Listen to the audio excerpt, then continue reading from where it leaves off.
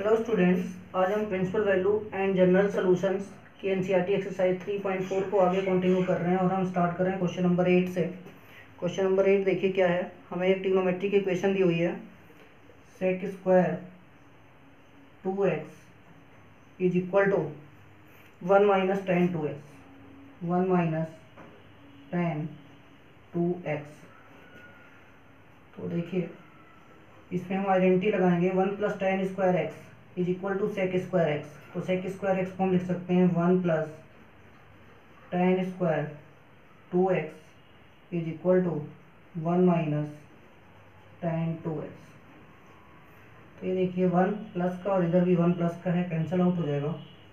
तो हम इसको लिख सकते हैं tan square two x plus tan two x is equal to zero अब देखिए ध्यान से टेन टू एक्स यहाँ भी है और टेन टू एक्स यहाँ भी है, आप इसको कॉमन ले लो।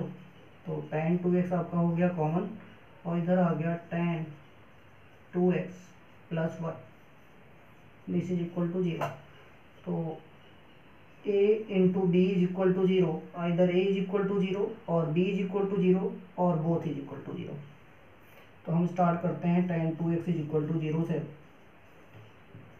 Tan two x is equal to zero. तो ज़ीरो जो है टेन में क्या होगा? Tan zero. टेन ज़ीरो की वैल्यू ज़ीरो होती है। तो अब देखिए, tan theta is equal to tan alpha.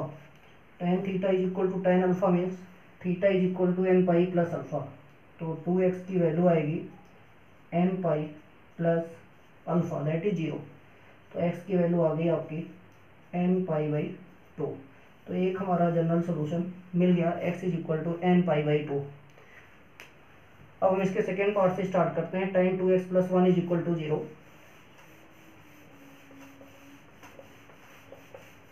आप लोग नोट डाउन करते रहिए। Tan two x plus one is equal to zero plus one is equal to zero it means tan two x is equal to minus one.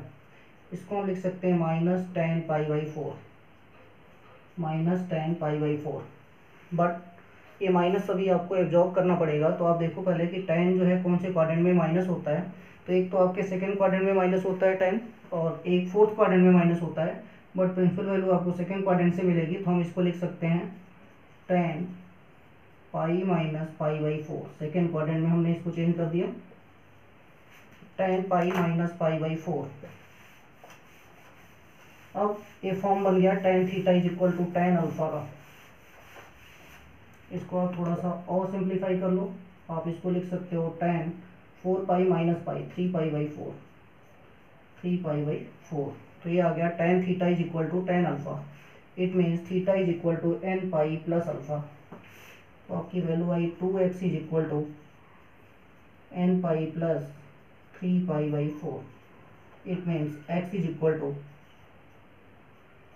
अब देखिए पूरी equation को to से मैं डिवाइड कर रहा हूँ तो ये आएगा n pi by two plus three pi by eight तो एक जनरल सोल्यूशन आपका ये बन गया।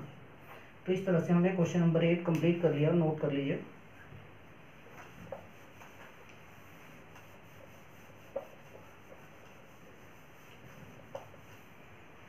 Now question number 9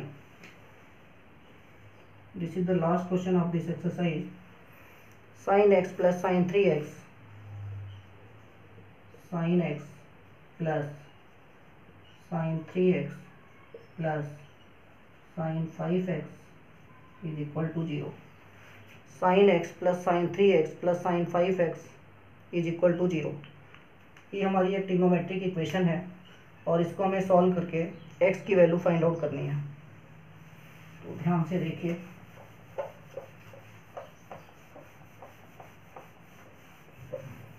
हमें इससे जनरल सॉल्यूशन फाइंड आउट करना है।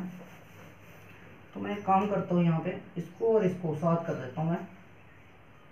तो इसको मैं लिख सकता हूँ sine five x plus sine x ये दोनों को एक साथ ले लिया मैंने, और साइन थ्री एक्स इंडिविजुअली अलग से लिख दिया इज़ इक्वल टू ज़ीरो अब यहाँ पे sine c plus sine d का फॉर्मूला लगा सकते हो। तो sine c plus sine d का फॉर्मूला होता है two sine c plus d by two cos c minus d by two तो ये आएगा आपका two sine c plus d by two five x plus x by two into cos c minus d by two five x minus x by two और plus में है sine three x and that is equal to zero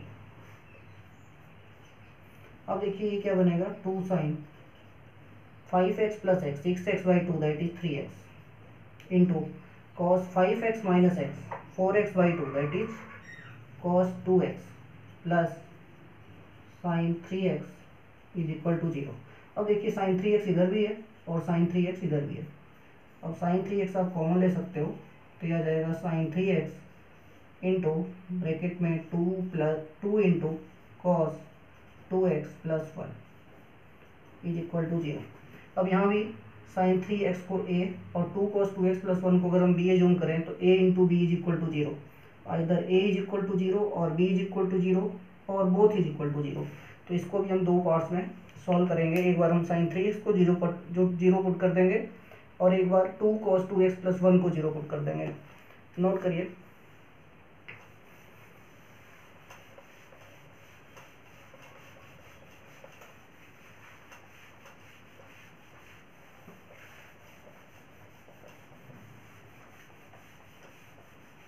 तो देखिए सबसे पहले मैं sine three x को zero put कर रहा हूँ। Sine three x is equal to zero और साइन में ज़ीरो किसकी वैल्यू होती है? साइन ज़ीरो की। It mean sine theta is equal to sine alpha का फॉर्म आ गया। Sine theta is equal to अगर साइन अल्फ़ा है तो थीटा इज़ इक्वल टू आप क्या लिखते हो? N pi plus minus one to the power n alpha तो ये आएगा three x is equal to n pi plus minus one to the power n alpha alpha की वैल्यू कितनी है? ज़ीरो तो ये आ गया x is equal to n pi by three क्योंकि ये वाला पूरा पोर्शन हमारा ज़ीरो हो गया। तो ये जनरल सोल्यूशन आपको मिल गया। X is equal to n pi by three अब दूसरा पार्ट है two cos two x plus one two cos two x plus one is equal to zero इसको आप लिख सकते हो two cos two x is equal to minus one यहाँ से आएगा cos two x is equal to minus one by two minus को भी आप एज इट रहने दो और वन बाई टू कॉस में किसकी वैल्यू होती है? कॉस सिक्सटी की। तो इसको हम लिख सकते हैं कॉस पाई बाई थ्री अब इस माइनस को एब्जॉर्ब करना है। कॉस जो है कौन से क्वाड्रेंट में माइनस होता है? एक तो सेकेंड क्वाड्रेंट में माइनस होता है और एक थर्ड क्वाड्रेंट में माइनस होता है। तो प्रिंसिपल वैल्यू आपको सेकेंड क्वाड्रेंट से मिलेगी। तो इसको हम लिख सकते हैं cos pi pi by three cos one eighty minus theta that is minus cos theta तो ये आ गया two x is equal to cos pi minus pi by three अब cos pi minus pi by three को आप थोड़ा सा simply कर सिंप्लीफाई कर दो। तो आप लिखोगे three pi minus pi two pi by three two pi by three तो देखिए यहाँ पे ये फॉर्म भी बन गया cos theta is equal to cos alpha का। तो cos theta is equal to अगर कॉस अल्फ़ा है तो theta is equal to two n pi plus minus alpha तो यहाँ से आएगा two x is equal to two n pi plus minus two pi by three अब ये पूरी इक्वेशन अगर हम टू से डिवाइड कर दें तो ये आएगा x is equal to n pi plus minus pi by three तो इस तरह से हमारा ये सेकेंड जनरल सोल्यूशन बन गया और हमने इस तरह से ये पूरी एक्सरसाइज कंप्लीट कर ली। तो नेक्स्ट एक्सरसाइज नेक्स्ट क्लास में हम स्टार्ट करेंगे। इसकी miscellaneous exercise thank you so much